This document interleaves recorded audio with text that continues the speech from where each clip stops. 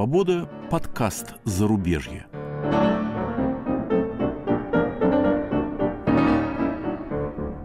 У микрофона Иван Толстой и Игорь Померанцев.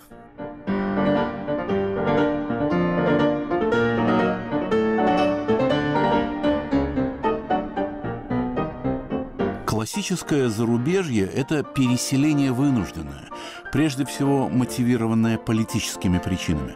Поэтому оно организовывает за рубежом политические партии, правительство в изгнании, независимую прессу и издательство, конфессиональные объединения. Наш подкаст «Зарубежье» о свободной России и россиянах, вынужденных более столетия строить модель своей страны за рубежом. Индивидуальные судьбы, история политических и культурных свобод. Но не только. Опыт европейцев и американцев, обосновавшихся в других странах, это тоже тема наших разговоров. Россия, живших вне иностранцев, это тоже опыт зарубежья. Наш гость сегодня харьковчанин Игорь Соломадин, историк, психолог, преподаватель, живущий сейчас в Чехии.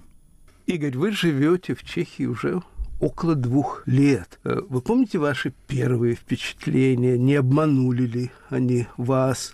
И изменилось ли ваше отношение к стране, где вы живете вот в последние почти два года? В Чехии я первый раз побывал в 2017 году, когда для Украины сделали безвиз, и первая страна, в которую мы приехали с дочерью младшей Таней, это была Чехия. Это во-первых. А во-вторых, э, Чехия, если точнее сказать, еще Чехословакия, моя любовь еще с 1968 года. Вот когда началась война, ну, понятное дело, что если моя дочь училась здесь, в Карловом университете, она, конечно, меня сюда и привезла, можно так сказать. Вы сказали, что это любовь ваша с 1968 года. Да. Я боюсь, что это не была взаимная любовь. Дело в том, что мне тогда было мало лет, и, вот, и я в основном слушал вражеское радио, вроде, вроде вот вашего. Мне было интересно, я переживал за то, что там происходило. А и у меня был друг, с которым я познакомился летом в Сочи. Тогда еще можно было поехать. Этот друг, его звали Иржи, он был капитаном чешской армии и выпускником Московского энергетического института. Он учился в Москве. И он буквально целый месяц мне рассказывал о пражской весне.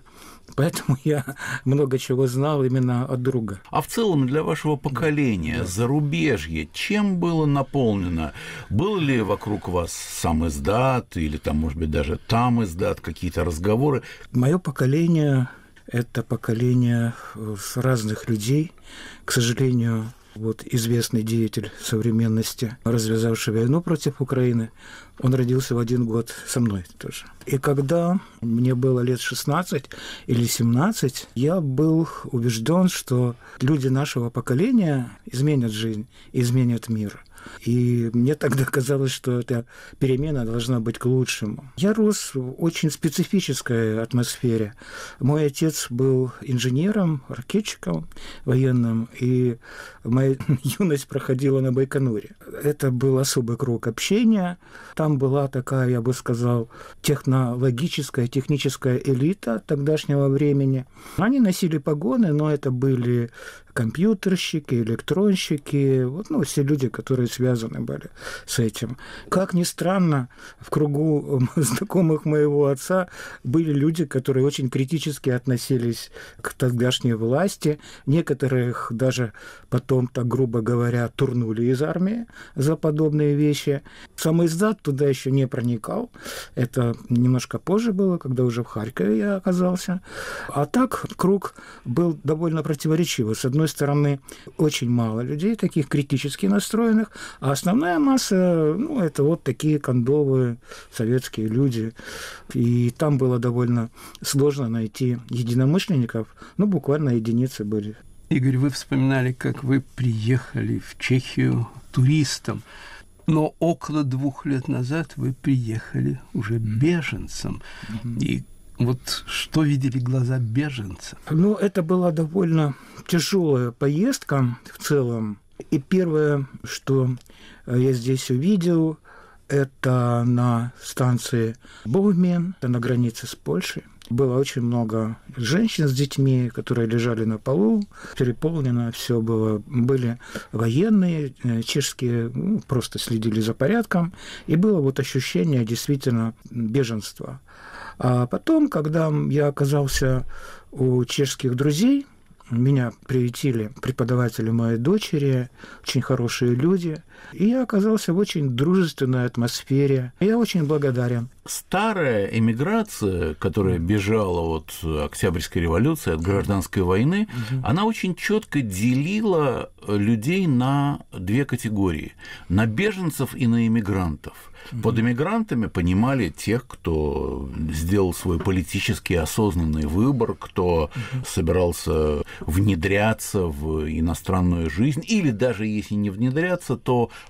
полностью посвятить себя э, вот этому новому своему существованию. Беженцы все время сидели на чемоданах. И даже если они жили в одной квартире и были членами одной семьи, э, могли быть одни беженцы, другие эмигранты. Они, беженцы хотели Э, кто к Пасхе, кто к Рождеству, и выпивали за это, быть снова дома. Угу. Какое ощущение у вас? Вы иммигрант или беженец? Ну, в общем-то, и не то, и не другое. Ощущение такое, что вот я нашел такой временный приют в стране дружественной, и я могу в любое время поехать домой, э, вернуться – если захочу, или не вернуться.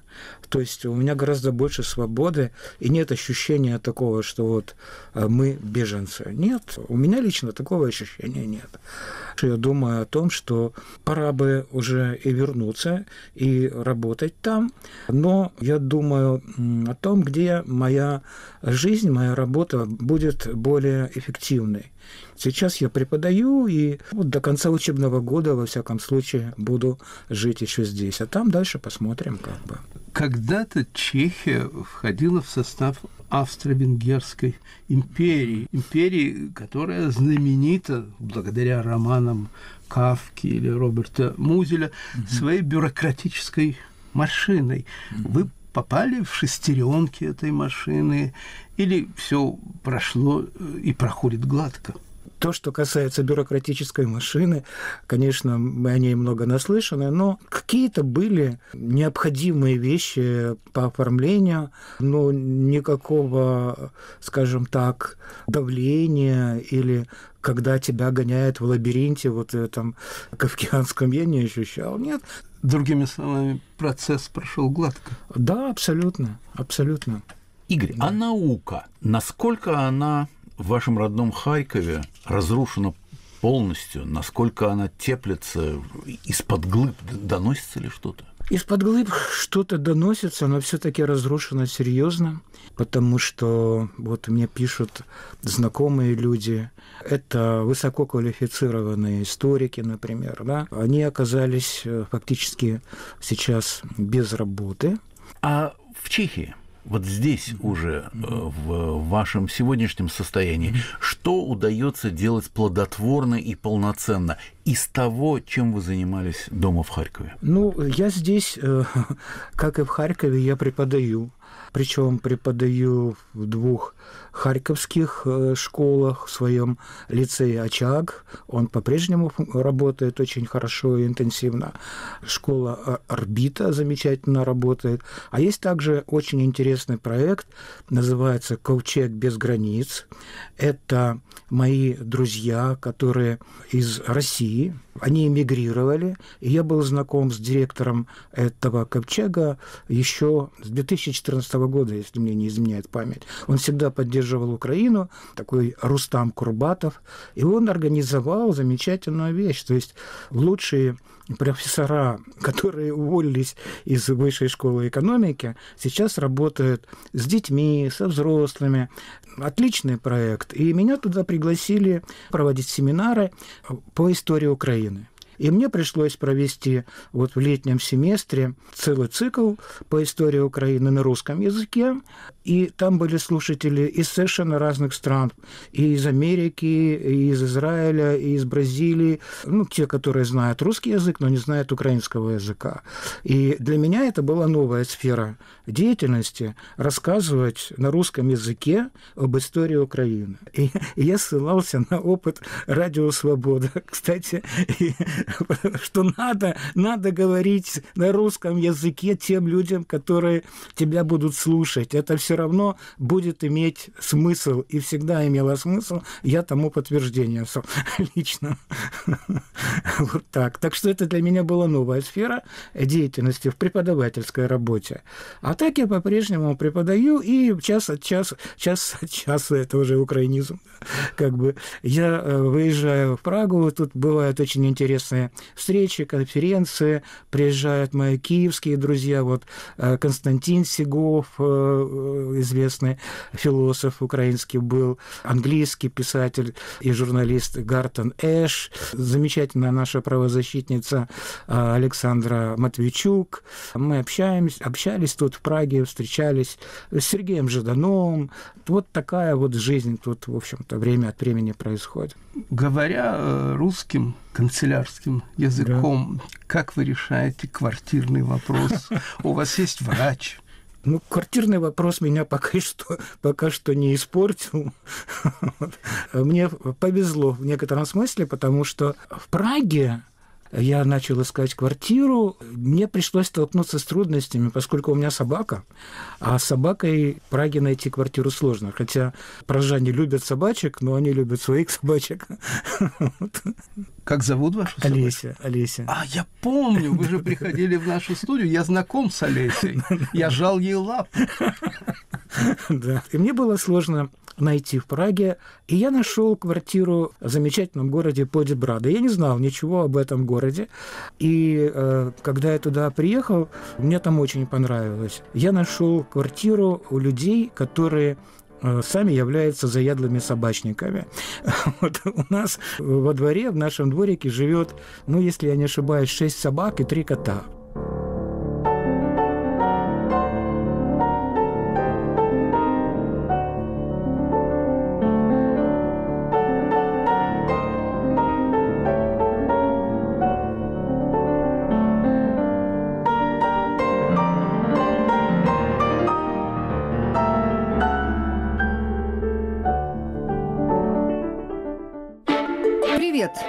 Зовут Марьяна Тарачешникова. А я Наталья Джампаладова.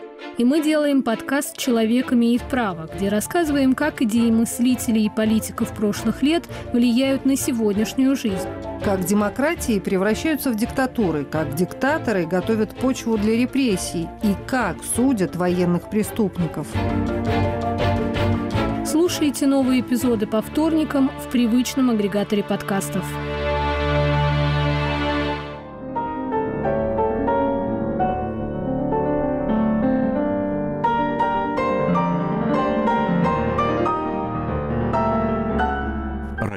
«Свобода» – подкаст «Зарубежье». Ведущие Иван Толстой и Игорь Померанцев.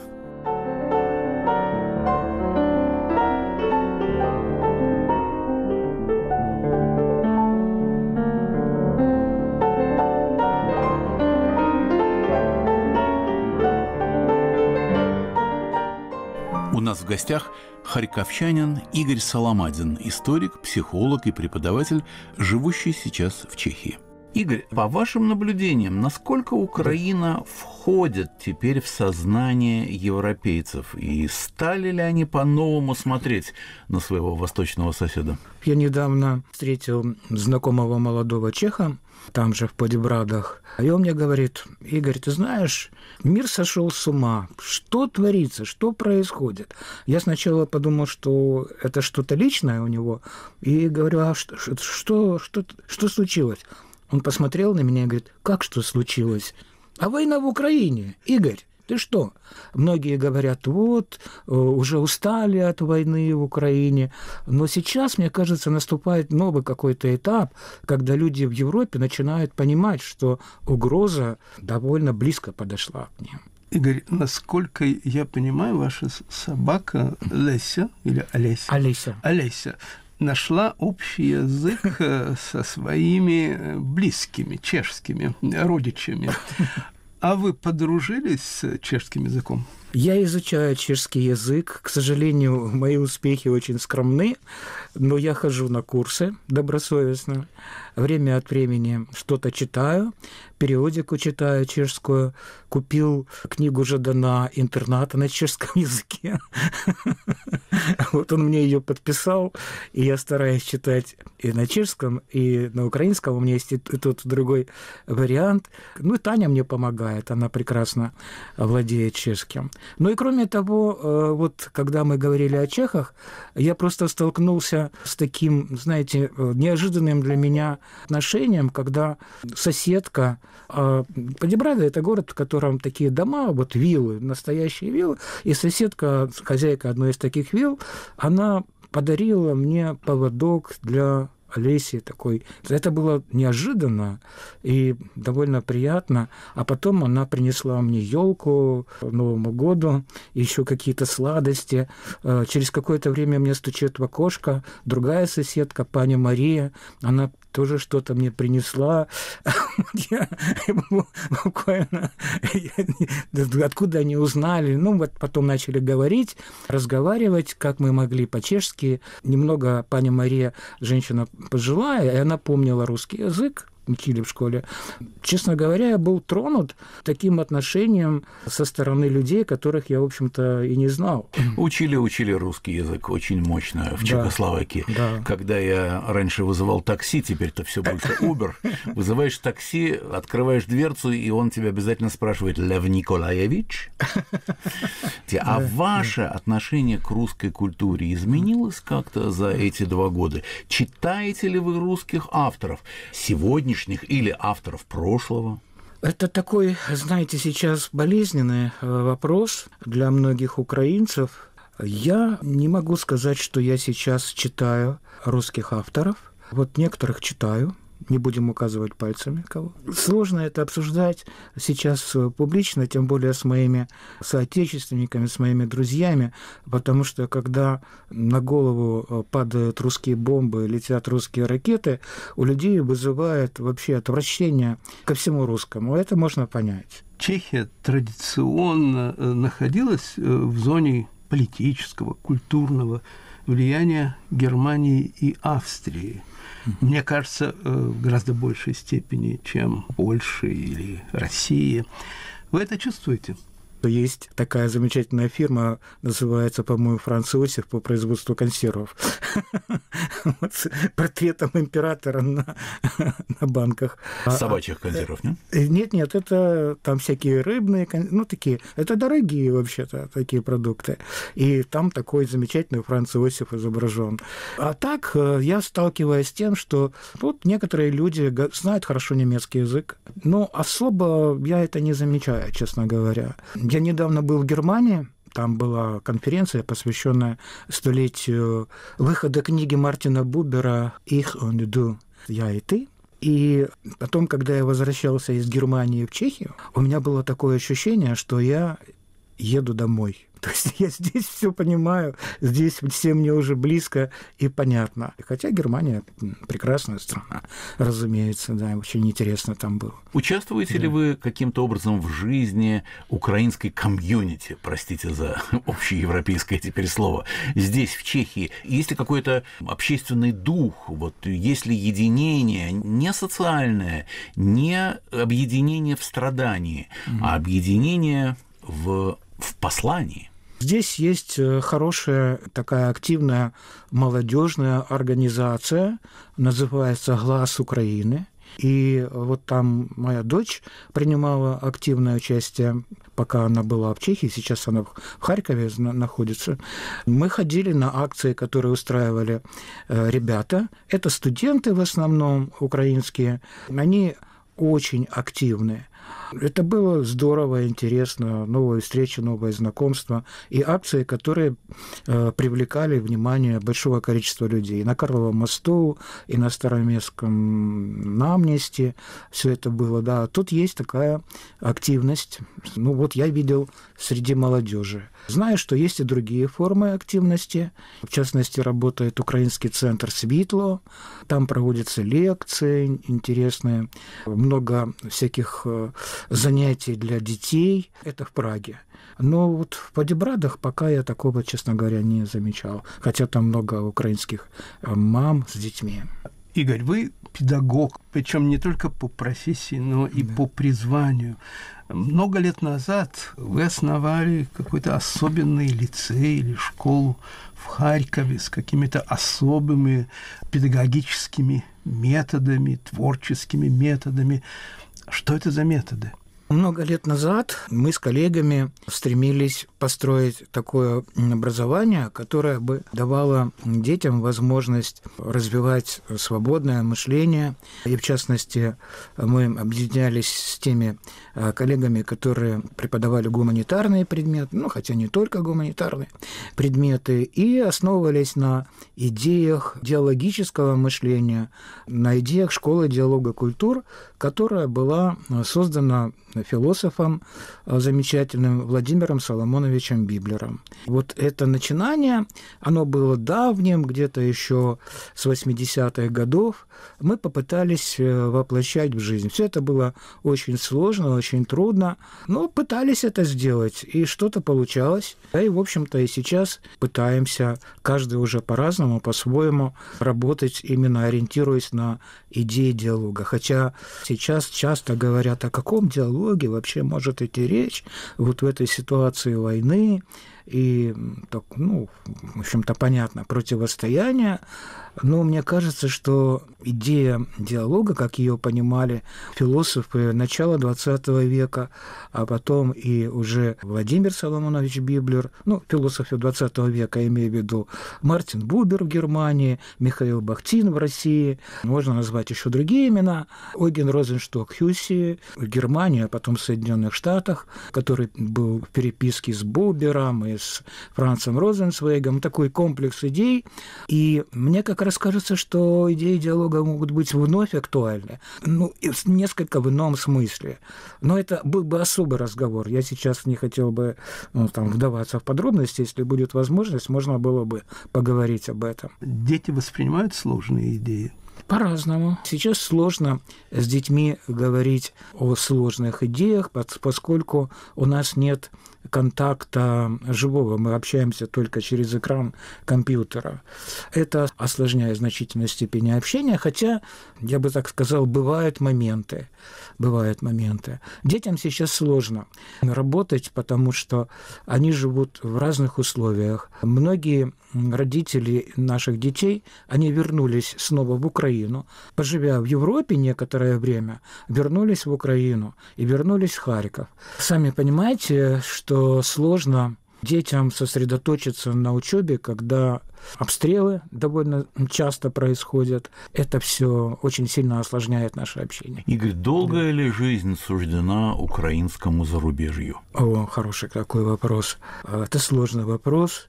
Что иметь в виду под украинским зарубежьем? Э, тех людей, которые в результате войны оказались здесь? Конечно. Это вот сейчас обсуждается на разных уровнях. Кто-то говорит, что большая часть не вернется, кто-то говорит, что наоборот вернется. Я не берусь судить, я просто знаю некоторые настроения, не обобщая, могу сказать, что есть люди, которые очень хотят вернуться, и их удерживает за рубежом только лишь забота о безопасности своих детей. А кто-то, наоборот, скажем, тут нашел себя, и такие есть. Каково их количество и соотношение, тут я судить не могу. Тут должны быть социологические исследования. Вот. И насколько эти данные окажутся релевантными, ну, я думаю, что жизнь покажет. Харьков, ваш родной город, ну, главный родной город. Да.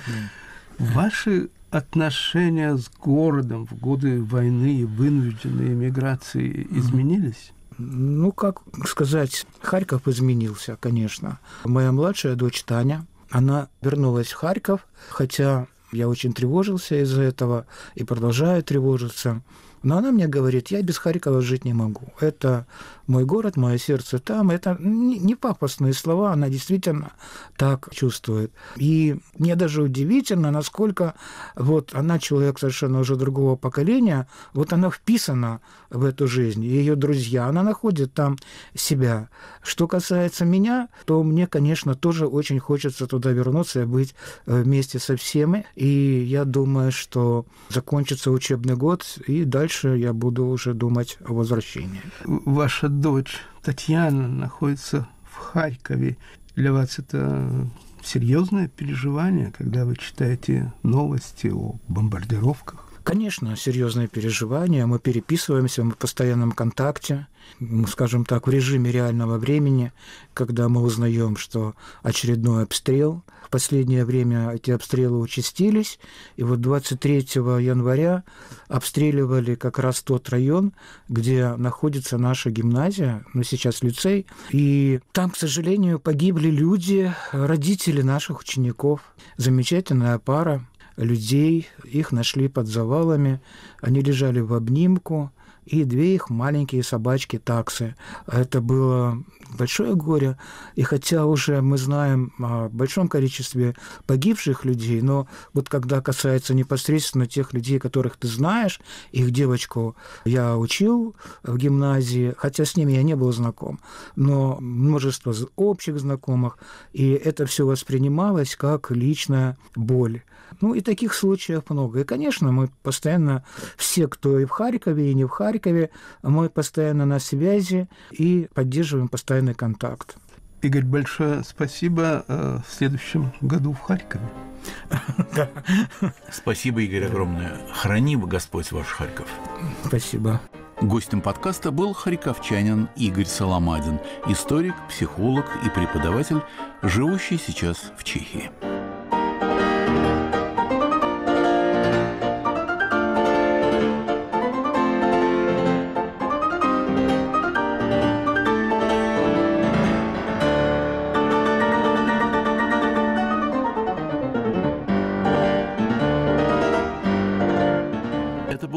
Подкаст «Зарубежье», который ведут Иван Толстой и Игорь Померанцев. Слушайте и подписывайтесь на нас на всех доступных вам платформах.